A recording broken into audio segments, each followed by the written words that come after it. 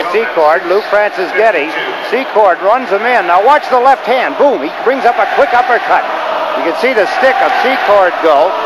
And Francis Getty picks him up and slams him to the